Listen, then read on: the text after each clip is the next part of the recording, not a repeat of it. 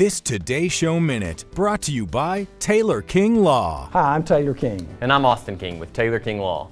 According to the Highway Safety Administration, more than 40% of accidents happen at an intersection. And in our experience, an intersection accident can quickly turn into a he said, she said scenario.